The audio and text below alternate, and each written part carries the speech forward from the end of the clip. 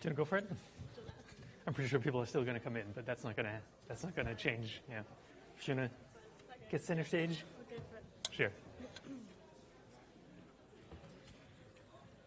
Hello. Um, I'm just going to take up like a minute of your time. This is not part of the lecture. Don't take any notes on what I'm saying. Um, my name's Georgie, and I'm one of the sabbatical officers in the Students Association. Um, so I'm just taking a really brief minute to encourage anyone here to stand for the elections that are happening and nominations close a week today. So I'm just kind of doing a bit of a final shout out that anyone, because I think this is all a second year lecture, that anyone can run for any role in the student elections. Um, the sabbatical officer roles are paid full year long. Second years can do them. You can do it in the middle of your degree. If you don't want to run for one of those roles, there's loads of different other things to run for. You could be a program rep. You could be a school rep. One of the liberation officers. We have four liberation officers, which is women's, LGBT black and minority ethnic, and disabled students officers. Um, those liberation officers actually get a bit of a stipend of a thousand pounds, so that's kind of an added incentive if you're thinking about any of those roles. Um, but nominations close a week today. Um, if anyone has any questions, there's loads of info on the Students Association website, um, or feel free to pop into Potterrow and ask any questions. But if you're all politics students, definitely encourage you to get involved in the elections. And I won't take up any more of your time, so thank you and enjoy the Valentine's Day lecture. Thanks, Georgie. Thank you, Georgie. Hi and good morning. Um, I can, of course, only encourage you to do this kind of thing because what would be your career as a politics student without having stood for an election once, right? I mean, that's kind of almost, should be almost part of your education. We should force you to, to, to run in elections once so you've experienced it um, uh, yourself. So, uh, welcome back. Uh, it's been a couple of weeks since you've seen me. Uh, what we're going to do today is, um, you might have noticed in the structure. Oh, by the way, happy Valentine's to all those in relationships. It's all a plot. It's all a plot by the flower industry to all those other ones. Okay, uh, I'm glad that you're here.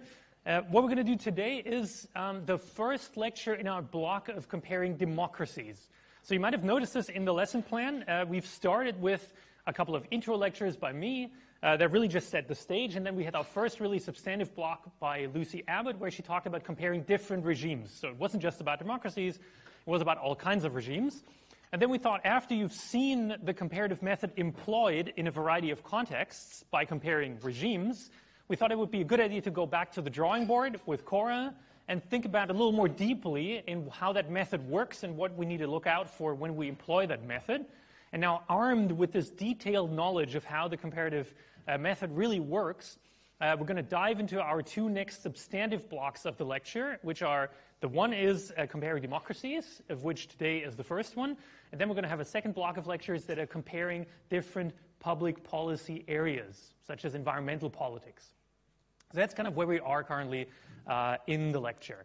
Now, before we dive into the substance of today, and we have quite a bit to go through, let me do a, a couple of uh, logistical things. One is uh, you might have uh, been notified of this already, but you can nominate your uh, hopefully excellent and lovely tutors uh, for prizes, uh, which shows them that you care. and hopefully, you're going to know at least one tutor that's done a good job in really making the course material more applicable and more transparent for you, has helped you understand and I'd appreciate if you followed the, uh, the link on the PIR news site and thought about whether you might not want to nominate one of your tutors uh, for one of these awards. Secondly, we're going to have a special transatlantic uh, seminar lecture. Uh, it's special because it doesn't happen on a Friday, as you normally are used to. It happens on a Wednesday, and why I'm announcing this today is because it, this is the week after uh, Creative Learning Week. So everyone's still in the mode of, yay, let's go on a one week holiday, or possibly let's finish our assignments. This is really important because this is a guy we don't always get here in Edinburgh. So this is Stephen Erlanger of the New York Times. He's a full-on two-time Pulitzer Prize winner, uh, one of the most eminent uh, journalists of his generation, and he's currently the chief diplomatic correspondent for Europe at the New York Times. What a title! I would like to have that on my business card, chief diplomatic correspondent for Europe. So he's going to have a lot of interesting things to say about a very sort of current topic. Uh, and it happens just around the corner at the Edinburgh Center for Carbon Innovation, which is just around the corner from the Pleasance. So really not that far off. So write this down if you have uh, nothing else going on, which you shouldn't, on a Wednesday at 5.30, uh, please go to this lecture. Uh, I, I, promise you it's going to be interesting and, and stimulating. There's a link down there because I think you have to sign up on Eventbrite uh, to get a ticket, um, but make sure to, to write that down. It's also in the slides for today, though, so you're going to be able to look it up. Okay, then uh, what should be on most people's minds by now is the research briefing. We hopefully have already done uh, a couple of things to give you some more information. I've uploaded the guidance, I've uploaded some samples. You might have already had a tutorial session where we talked about written assignments, one of which is the research briefing, and I've sent out an FAQ because I keep getting the same emails uh, over and over again, which is not a problem, of course. I love replying to emails, but um, I just wanted to make a couple of things couple of things clear. And the, the main thing I didn't put in the FAQ, maybe, is think about what type of task this is. We're consciously trying, we're, we're forcing you to do things slightly differently than you normally would. So this is not an essay. Uh, this is a doc, you're writing a document that's designed to inform a decision maker. Decision makers aren't interested in reading your sort of two page, beautifully constructed prose arguments all drawn from the academic literature. They're interested in being informed and being told what might be the right decision here. Or, or they like being told the criteria uh, on, which, uh, on the basis of which they can then make a decision. So uh, one, uh, one good way that one of your uh, uh, student colleagues alerted me to, to think about this is think about uh, your boss is going on an airplane, and just before he gets on an airplane, you hand them the, uh, your briefing. So they're going to be offline, they can't do anything else, and by the time they land, they have to make a decision. That's how you should think about your document.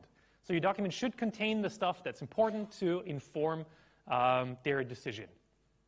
Um, now, I'm assuming you might have already had some chance to talk about these types of things in your tutorials, but does anyone have a very burning question about the research briefing that they would like answered or that they think everyone might benefit from knowing the answer to?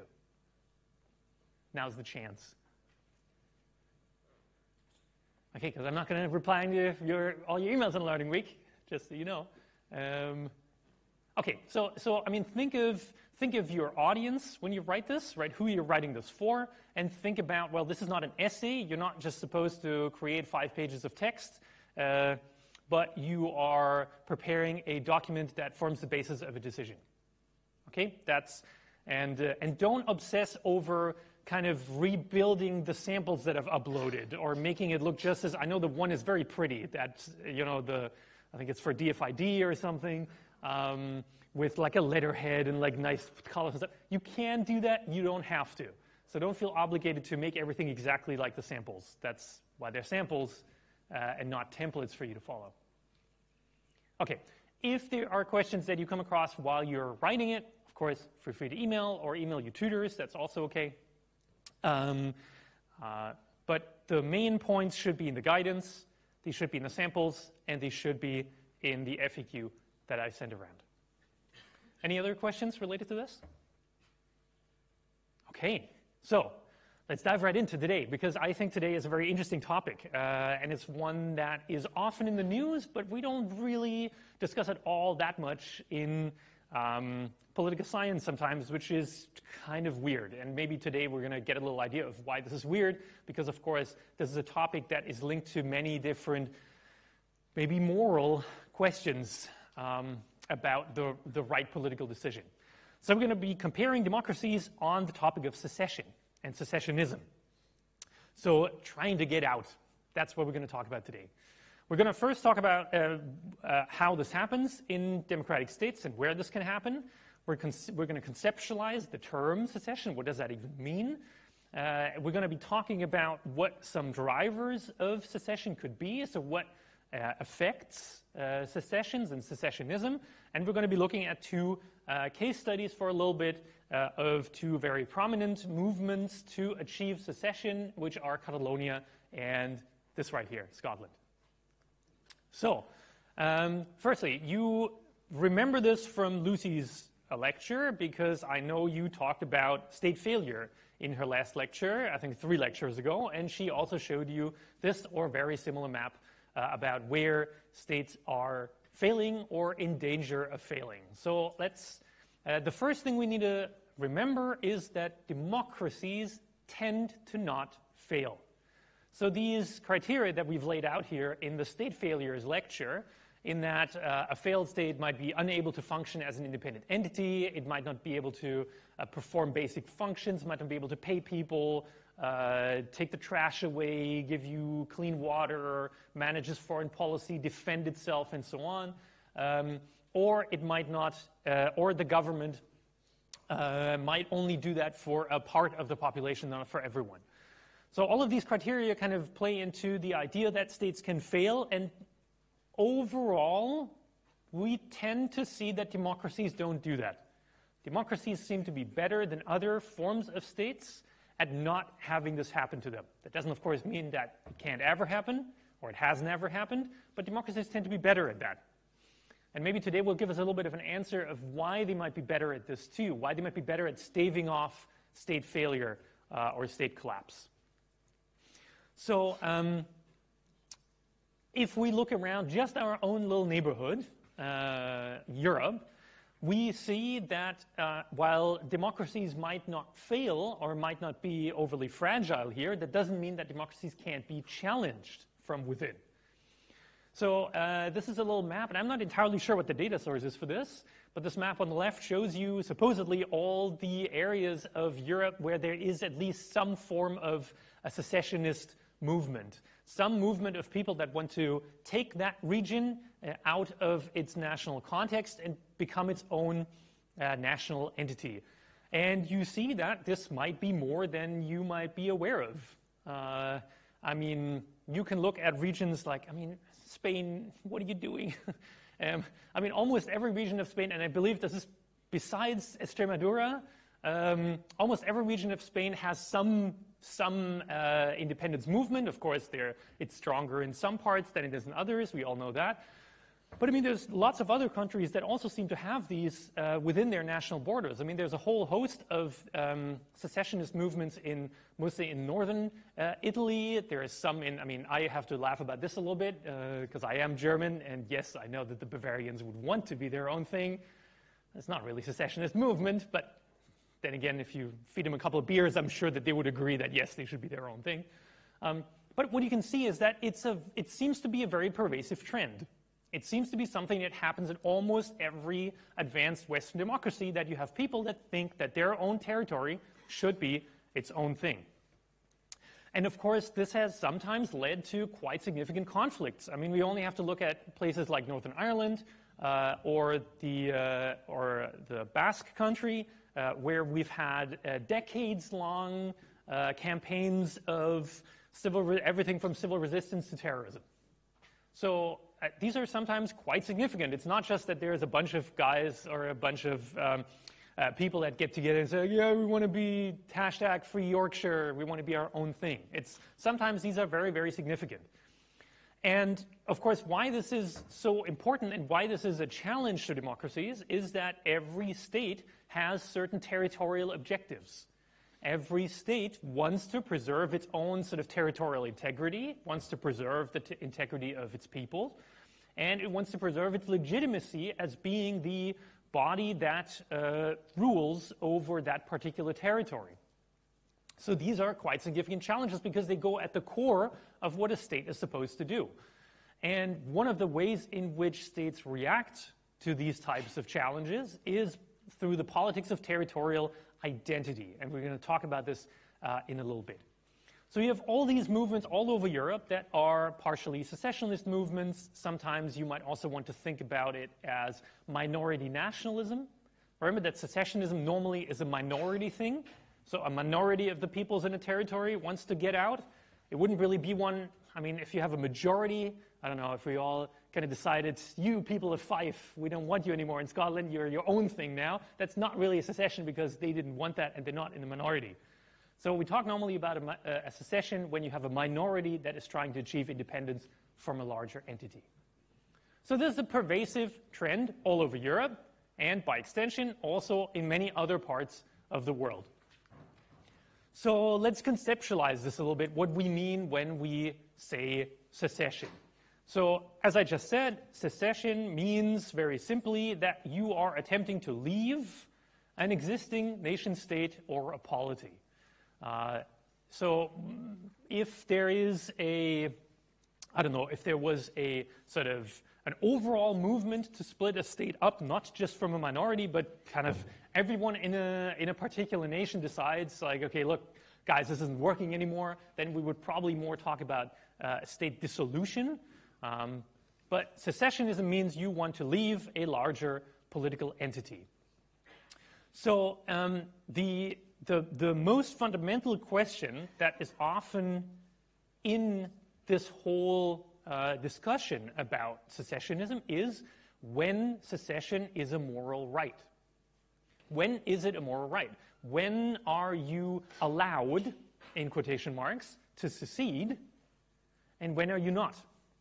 And this, of course, is a, is a, is a hideously difficult question to answer because, of course, you might have uh, very different, very conflicting uh, norms that are crashing into each other here. You have on the one side, of course, the desire of the peoples that want to secede to self determine their own future, their own actions, their own uh, political ideas. But you have, on the other hand, the norm that a state should be allowed to preserve its territorial integrity, and it shouldn't just fold uh, every time a territorial challenge comes up. And of course, it becomes so difficult because there is no real authority that can give you the moral right to secede.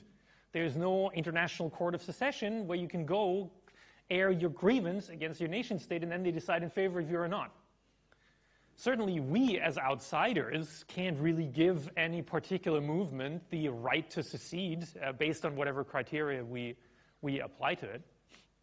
So the moral right to secession is one that is often at the very core of what's being discussed, but it's also a conundrum that you can't really solve uh, extremely convincingly because there are very few criteria that you could apply that would have that would give you a general catalog of here are the things that need to happen for you to be allowed to secede. So um, we should be, uh, when we think about secession, we should be really thinking about it as a, the endpoint of a process. So oftentimes we see secessions or secessionist movements starting out of situations of armed conflict and war. Obviously, when you have uh, wars of the central government versus some locally based rebels, uh, we oftentimes see a, a, parallel movement to also split the territory that these people keep away from uh, the central government, away from the larger nation state to which it previously belonged. But these instances of sort of an armed attempt at achieving independence aren't the only way to go about this, of course. We have the very famous case of the so called Velvet Revolution in what used to be Czechoslovakia when I was still a kid, um, which was really, uh, which was split up, of course, after the end of the Cold War into what is now Czechia and the Slovak Republic. And this happened entirely on the elite level. There was no popular movement to split up the state. There was no armed conflict. In fact, there was no conflict at all, which is why it's called the Velvet Revolution, right? It's so, it was so smooth, like it was smooth as velvet. Um, so elite negotiations can also sometimes lead to secessions without the need of any conflict, and sometimes even without the need for popular movements that advocate for secession. And then, but normally, whether you come out of a conflict or a, a peaceful uh, elite negotiation, you normally arrive at a point where uh, you have to make a decision. You have to make a decision as the smaller entity do you really go for independence? And you might have to reach a decision as the larger entity do you allow this secession to happen, or do you try to prevent it through some means? Um, and in a sense, after you've made that decision, um, after both sides have made the decision, that actually is when the really hard part starts, at least historically. It's one thing, of course, to achieve independence from your own central government, to just say, like, look, these are our borders now and you're not coming in. It's a whole nother ballgame to then convince the international community that it should also recognize you. So recognition from your own government is, of course, only the first step. You have to be recognized by the international community as an, as an independent state. You see in the bottom right corner of the slide a map of, of what? Can anyone think of what this is about? Which states in the world recognize a certain other state? You see, there's a bit of an odd map, right? This must be pretty contentious because clearly lots of states are recognizing it, but a, a whole host of states aren't. Can anyone venture an, a guess what state this could be? Yes? Okay, that would be, oh, that would be, ah, that almost makes me angry because I should have done that, of course, yes. So that would be a possibility, right? Who recognizes uh, Guaido? No, is that his name? Guaido? I can't pronounce it quite, right? So the, the, the current international discussion over whether uh, uh, which of Venezuela's supposed leaders, uh, leaders is currently being recognized. But in that case, it's more about the leadership of the whole country. It's not about a secessionist movement, right? So this is about a state that has tried to, tried to secede from its mother country. What could this be? Anyone with a guess? Yes. Who said it? Kosovo. Okay, brilliant. Yes. This is Kosovo. And Kosovo is an interesting case because it's one of the most contentious cases of, of, of, international recognition at the moment. There's been, of course, over history, been a couple of cases where international recognition has come uh, rather difficult. Of course, we have some states that are even decades later not universally recognized, Taiwan uh, being one of them, for example. And in this case, this map shows you who recognizes Kosovo, which, of course, has tried to split off from Serbia. Um, and uh, it's been recognized not even by all EU member states. So you see, like, I mean, there's a couple of uh, EU states clearly that support this, uh, support Kosovo, like all the Nordic states, uh, most of Central Europe. But for example, there's Greece and Spain that have still not uh, uh, internationally recognized Kosovo. So in other words, this is a long, this can be a long, arduous process. Sometimes it can go quite quickly. South Sudan, for example, was internationally recognized in, in record time, mostly because it was clear that there was an actual agreement in place between the former Sudanese government and the new government of South Sudan, and because the international community had already been involved in negotiations and so on. So that went rather quickly.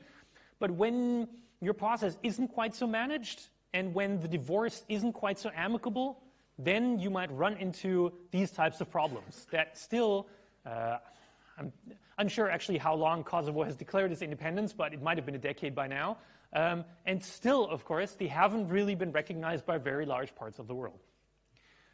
So this is the important step that comes after you've made all the decisions, really, to, get, to garner international recognition. Now, oftentimes when we talk about secession, we have to make sure that we properly distinguish it from some other terms. Or maybe we think that it's not actually all that different from some other terms that might also sometimes be used. So you might have, of course, heard of the term separatism. I like to not use that. So secession versus separation, right? Separatism has a negative connotation, of course. Kind of goes, no, you, you always want to be your own thing, and you shouldn't be allowed to. So separatism isn't really, uh, I mean, it's a term that's used in lit- literature. I prefer secession simply because it's the more neutral expression to talk about this. Uh, you can, of course, think about secession in terms of gaining independence, which then, on the other hand, has a very positive connotation to it. Uh, you gain independence, you gain the right to uh, self determine um, your fate. Often, the advocates of secessionism will couch their project not really in terms of this is going to be a secession, but in terms of sovereignty. This is about taking our sovereignty back. Does that sound familiar to anyone, right? From any recent cases, right? This is about state sovereignty. We want to make our own decisions. Uh, no one else should be, no one else, no one elsewhere should be able to tell us what to do. We, we should be the masters of our own course. Um, so sovereignty is often used in that discussion again to not use that possibly slightly dirty word of secession.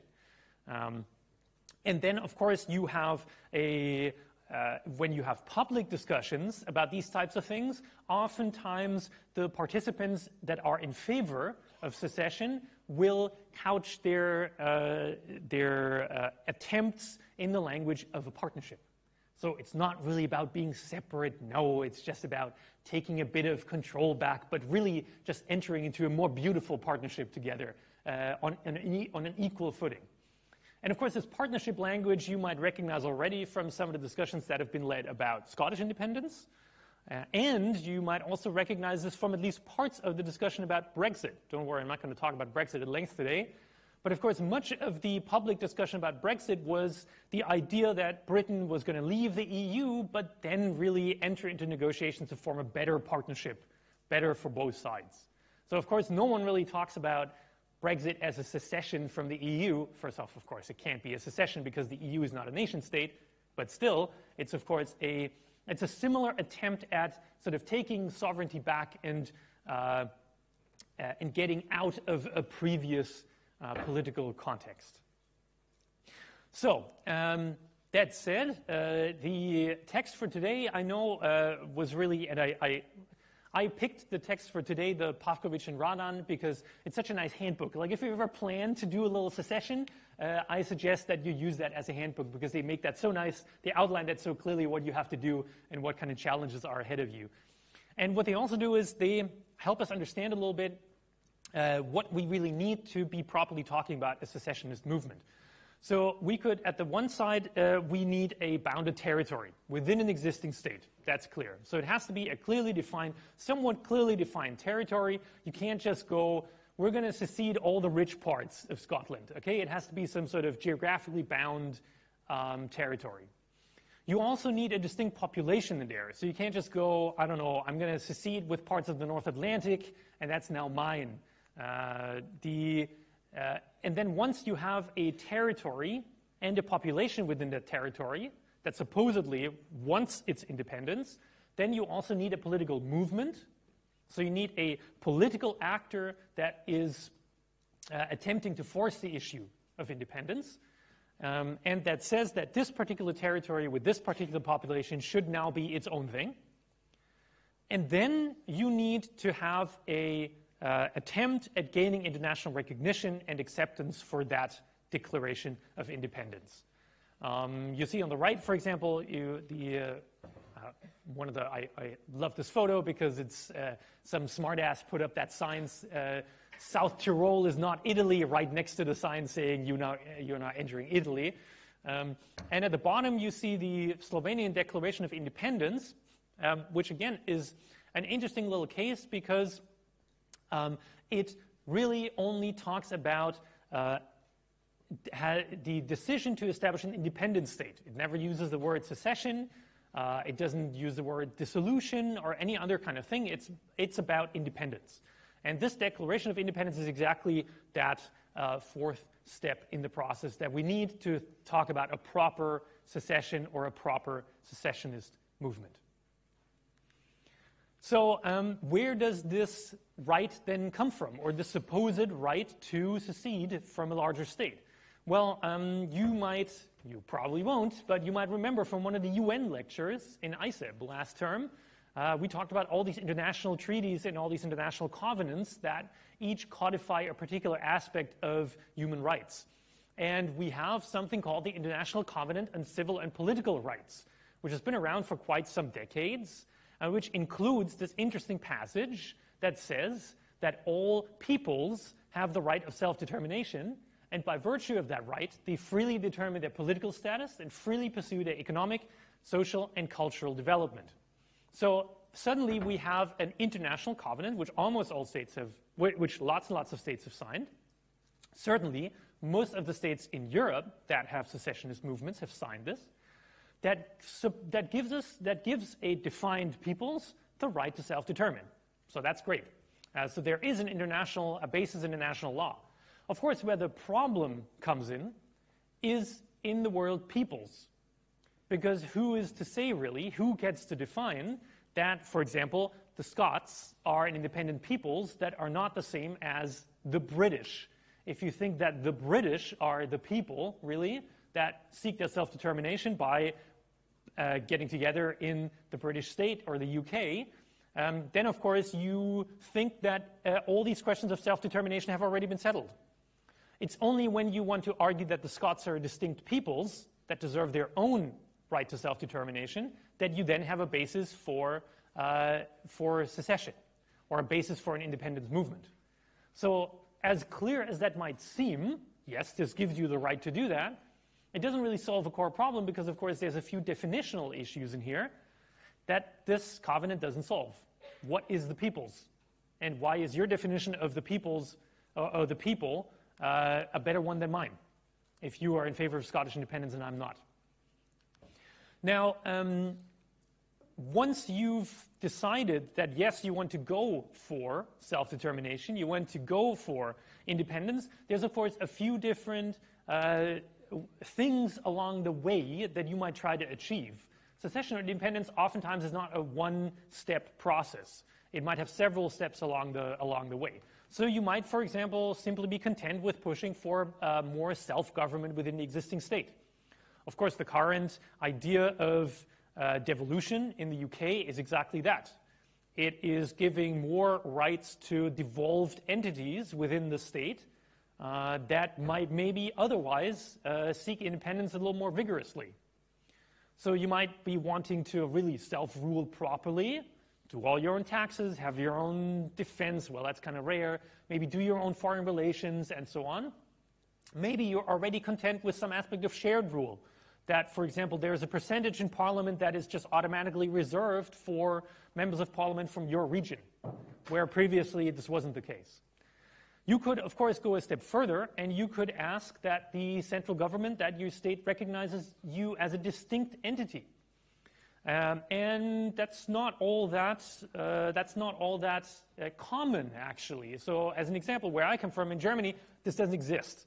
There are no laws, this is not in the constitution that, I don't know, uh, constitutionally codifies Bavarians' inherent right to be their own thing. Uh, there's nothing like that. It's, the, it's, a, uh, it's a unitary state in regards to the peoples. But you might be pushing for that. You might, be want, uh, you might want your own national distinctiveness to be recognized. And you could do that, I don't know, through money. Who goes on the money? Who goes on the coins? Uh, are you allowed to fly your own flags? Are you doing um, do you get your own national holidays and so on, right? So that could all be uh, an aspect of you uh, uh, trying to make good on that idea of self determination.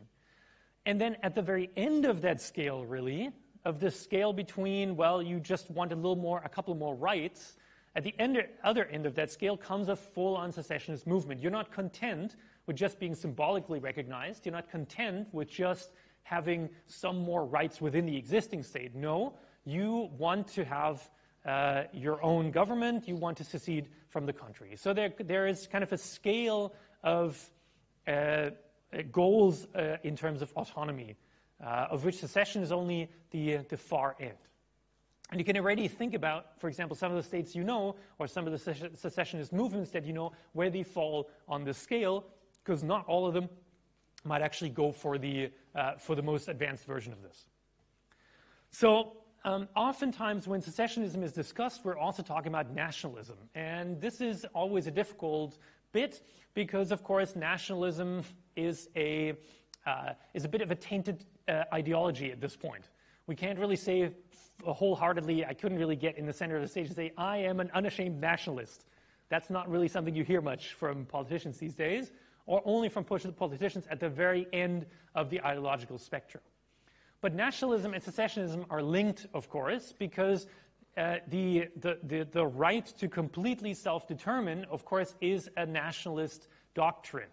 It is a nationalism is ultimately the idea that you should be able to take care of your nation in any way you want, and no one else should have any say over uh, what you do uh, within your borders. So independent statehood is sort of the ultimate nationalist goal if you're uh, a, a, uh, a, nationalist or a secessionist leader. But of course, nationalism is also kind of a broader form of politics, right? It implies a couple of other things that are being done in politics uh, to achieve particular goals. It might be about the politicization of national identity. So it might be you might be weaponizing the idea that you're part of a nation to, in order to support your own political goals. Um, but it's important to realize that nationalism in itself isn't really an ideology because it doesn't really imply that you're doing particular things. You have left wing nationalism and you have right wing nationalism. Just the fact that you're a nationalist, just the fact that you want to, that you want to think about the unity between the political system and the supposed nation and its peoples that doesn't say anything about how you organize the economy, how you organize the welfare state, how you do your foreign policy, and so on. So it's not really a, a very, a very thick ideology. It only becomes a proper ideology when it's uh, supplemented by um, other aspects of political ideology, like say you're a left-wing, uh, you're a left-wing nationalist, for example, or you're uh, a right-wing nationalist. So um, we see nationalism at play on many different levels, of course. We can see it at the state level, we can see it at the sub-state level. So state nationalism um, is uh, both, uh, of course, both exists in established states, it also exists in new states. Um, and sort of its central claims are always that there is some sort of national unity that needs to be preserved, and in most cases, that you are the protector of that national unity. That uh, in some extreme cases, you might even think, for example, that your party or your political movement encapsulates the nation and is there's a unity between your movement and the nation and the peoples itself. Um, and of course, out of that idea come a lot of repressive, um, come a lot of repressive measures against those that are supposedly not part of that nation, not part of those peoples, or not part of your political movement. Um, and states sometimes employ this nationalism quite deliberately, sometimes to actually counteract secessionist movements. Because, of course, one way to argue that a part of your territory shouldn't secede is if you get out and you say, no, we all, we all are part of one nation, one unified body, one people, and that's how it should go. That's really what, what nationalism ultimately is about. Now, on the sub-state level, then, nationalism is often uh, associated with secessionist movements, of course, because you make the opposite claim. You are not part of the larger whole, you are not part of that unified state, and you should be your own thing. And uh, so you're challenging the idea that that state that is on top of you is really representing you. You are normally claiming that that state only represents a part of its nation and that you are the part that it doesn't represent. Now, um, the drivers of secession, and you've already uh, heard a couple of ways in which maybe some aspects of uh, how a state deals with you might drive you to secession. We have, of course, certain historical junctures where just big empires or big blocks have just sort of gone away. Uh, the most recent one might be the collapse of the Soviet Union, um, which then, of course, led its former uh, constituting states to pursue their own independence. You might have uh, external factors that drive this secession. You might, for example, have external threats to uh, the authority of that nation state. So you might have external actors threatening that state in its capacities, to which, as a secessionist, you would say, well, you know what, if they can't do the job of protecting us, maybe we need to do this ourselves. Or, of course, you could have processes of European integration, which also have been considered drivers of secessionism, because, of course, it gives you a bit of a safety net, maybe. Uh, you can survive much better in the modern world as a small state if you are maybe also part of the European Union. Makes things much easier. So might be might uh, increase the benefits or the perceived benefits for you to pursue your independence. You could also, of course, have sort of a mix of internal and external uh, uh factors. In that, uh, for example, you through some uh, through some event, through some means, there could be a diminished, a diminished voice for, your, for you as the secessionist. There could be a diminished voice for your concerns. I don't know, there could be a constitutional challenge, and suddenly that nice arrangement that you had your own slice of the seats in the parliament is being challenged and goes away. So suddenly you are in a situation where you don't have a voice anymore. Um, that might drive you to consider secession uh, more seriously. And then, of course, you might also have uh, purely internal factors. You might even have sometimes secession purely as a um, outcome of party competition. You might have one party that is a strong driver for secession and that is basing its electoral success on convincing you that secession is the right idea. Arguably, maybe in Scotland, we're in one of those places where you have a strong electoral force that, of course, has that as one of the cores of their uh, of their own uh, ideology. And the Bartkus text, I think, which is in the recommended text, talks a little more about the costs and benefits of secession. So, whenever secession is considered, normally the actors will take into consideration some of the costs, some of the benefits, and then based on however they weigh that, how much is it worth to you to have a voice in parliament, that might then drive you to secession or away from it. I'm only doing this rather briefly because, of course, this is part of one of the uh, questions, of course, the, uh, the research briefing tasks, and I don't want to do all your work for you. So um, once we've established that there is grounds for secession, once we've established that there is a movement, and that this movement has maybe good reasons or has been driven to uh, really embracing the idea of secession, what do we need to then arrive at a true secession crisis? Well, um, uh, Bartkus points out that we need a few things and this is, this is somewhat parallel to Pavković and Radan. Bartkus points out that when we have a territorially concentrated uh, and distinct community, so we need a community that's going for this, that has also already articulated demands for secession, um, then we, all we need is uh, a leader on the one side, so a figure or a movement that really picks up the mantle of secession up here. And what we also, in almost all cases, need is some grounds for discontent. So you have to be, you can't be sort of just comfortable with where you are currently. That wouldn't really drive you towards secession. There has to be a grievance. So once you have a population, you have a movement with a leader, and you have discontent, then you have all the ingredients to possibly have a secessionist crisis or a secession crisis um, with you wanting to go for independence. Now, states can, of course, reply to this in a variety of ways. And in fact, uh, just by looking out Europe, uh, we've already seen a variety of ways how to cope with secessionist demands. You can, of course, do absolutely nothing. You can just ignore it. You can just think like, oh, it'll go away. This is going to play itself out. Uh, people are getting going to get tired of this, and we don't. We probably don't need to do anything. Um, you can, of course, actively repress the demand. You can say, no, this is not right. You people need to get off the street and get back to work. This is not a legitimate cause. Uh, you could, if you're worried, either in a PR sense or maybe in a political sense, if you're worried about repression and you're worried about ignoring the demands, you could, of course, try to contain them through, mostly through recognition, mostly through symbolic recognition. So you might want to, as a central state, you might want to see how much you can get away with. How much do they want? Let's give them, I don't know, let's have them make their own coins instead of just their own banknotes. Maybe they'll be okay with that. Or, but if all else fails, really, you could, of course, try to, well, why don't you just give in? So the opposite of ignoring it.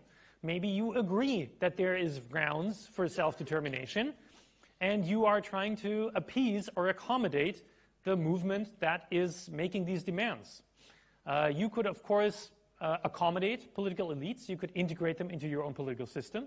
You could, um, uh, I like uh, this expression because what that really means is you could try to pay people off. Hey guys, if you don't secede next year, two billion extra for housing, uh, like that kind of strategy might work, right? Uh, if people are um, fundamentally slightly corruptible, uh, maybe that will work.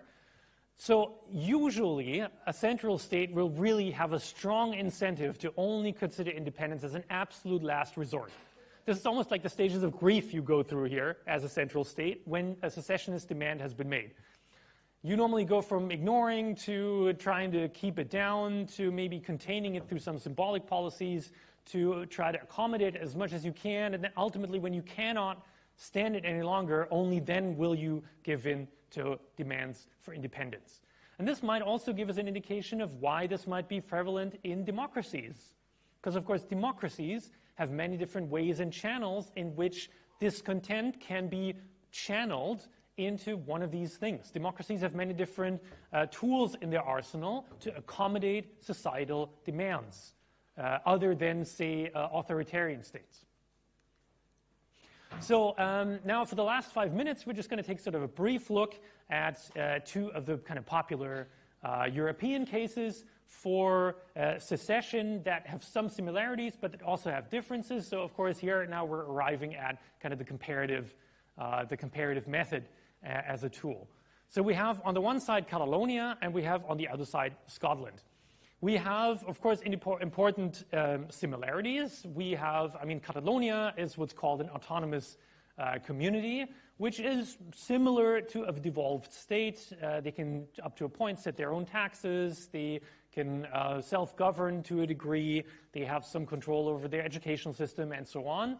So we have sort of a similar starting point, and we also have similar party competition, where you have a part, uh, the the independent versus union cleavage is really the main sort of political party cleavage. It shows you like a party can't be either or, or they can't not have an opinion on that. They have to stand somewhere on this kind of central uh, electoral issue. Um, you have, of course, slightly different uh, secessionist goals although, again, we see some really interesting parallels. Uh, for example, that both Scotland and Catalonia have consistently talked about partnerships with their larger states. Mostly, of course, partnerships meaning not partnership between a junior partner and a senior partner, but partnership on equal terms. Um, but we see especially a difference nowadays, or in the last couple of years, where we've seen kind of this, this idea that Catalonia should self-determine and should be its own kind of national uh, project come under some threat or being challenged by the central government. While this hasn't happened, at least in a formal sense, in the, uh, in the Scottish case, although nowadays we also have cross-cutting issues in Scotland that we're going to talk about in a minute, cross-cutting issues in terms of Scottish independence from the, from the UK versus the UK's independence from the EU. So we have a couple of things in which these, these, are, very, these are very similar. So let's look at them a little bit in, in detail. So in the case of Catalonia, we have uh, a few of the now we've established that, drive, that are drivers, factors that are drivers of secessionism. We have kind of historic claims that this is its own thing. Catalonia is its own unit, and it's not just another part of Spain that you drive through.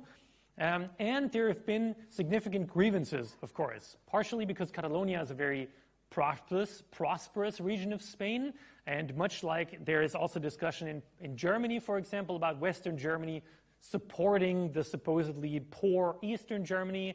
Uh, the same kind of discussion has happened in Spain with more prosperous regions kind of chafing at the bit at having to maybe support other less prosperous regions. And we have seen in, in, um, in addition to these grievances, a significant degree of politicization of Spanish national identity. So the central government has really dr- uh, made a, a, hard drive towards sort of national unity as something that is worth preserving.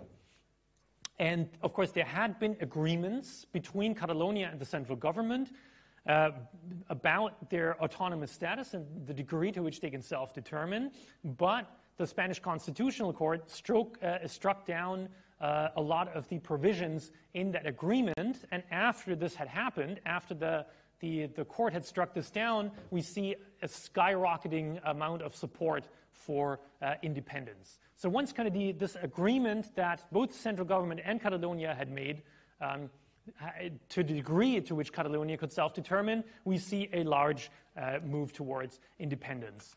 Uh, we, had we had one unofficial referendum and one official referendum, both of which uh, ended up having very, very clear majorities for Catalonia being an independent state, uh, but both also had, maybe surprisingly, fairly low turnout.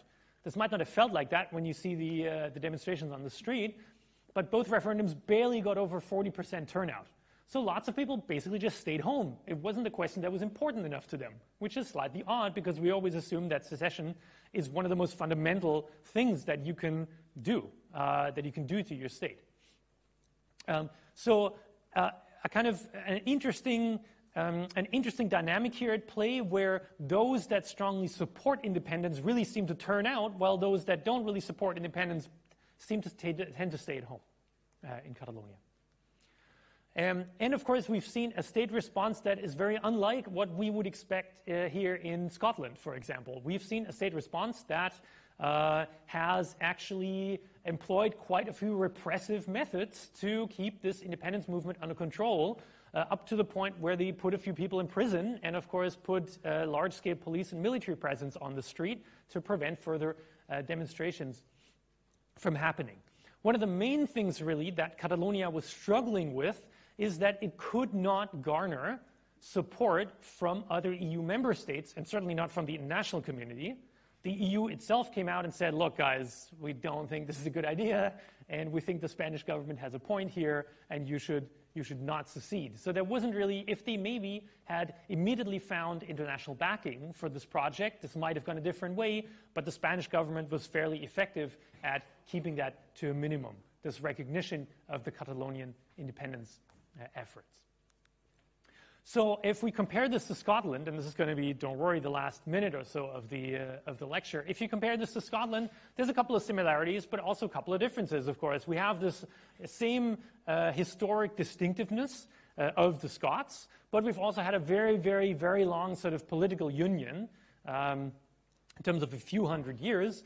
And the more important aspect here is that one of the main drivers of secessionism is missing because there hasn't really been any major grievance. Now, that doesn't mean, of course, that we can't have a problem with how things are devolved, or that doesn't mean that every uh, Scottish person is perfectly happy to be in the U- UK. But the same amount, the, the, the degree to which there's been large scale grievances against the central government has been minimal so far. And this is reflected, of course, in the, well, kind of pretty lame looking curve of support for independence, which always kind of hovers around sort of 30%, and really only has gone up significantly in recent years, and we all know the reason for that. So um, I think I'm going to skip this for a second. You can read through this yourself, but there have been, of course, a couple of cases made why independence, why secession might be the right thing to pursue here, and why this might be the correct societal uh, project to pursue. But the main difference that I want to emphasize here before we close is that, of course, the state response has been completely different from Spain. There's actually been a significant degree of appeasement and accommodation from the central UK government in terms of the Scottish demands. There's been numerous devolution agreements. There's even been this lovely, lovely photo op here uh, where, where the UK government and the Scottish government agreed that whatever would come out of the independence referendum would be respected, the so called Edinburgh Agreement. So, a much different strategy here in dealing with these secessionist demands. And there's a nice thing on the slide here where the UK government tries to argue that the Scottish referendum is completely different from the Crimean referendum. And they made a little flyer to convince people that, yes, this was not, absolutely not the same thing. Uh, we are all doing this completely legitimately, and the other, the other guys aren't. But of course, what came out of it was, well, much the same, uh, uh, maybe a similar thing than had happened in Catalonia had you had, uh, had, you had a proper turnout. Because even with 85% turnout, we still had a majority against independence.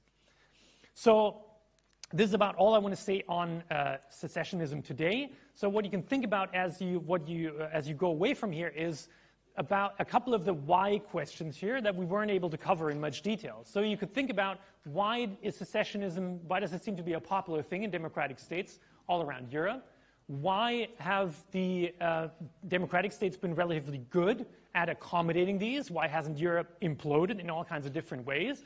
And lastly, why has the central state reacted so differently, do you think, in the Catalonian case